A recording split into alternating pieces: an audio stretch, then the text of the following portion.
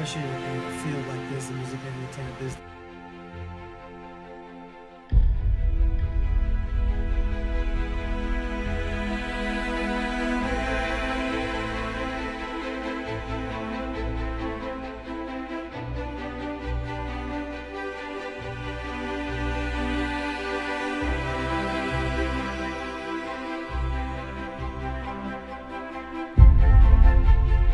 Keeping him in our lives.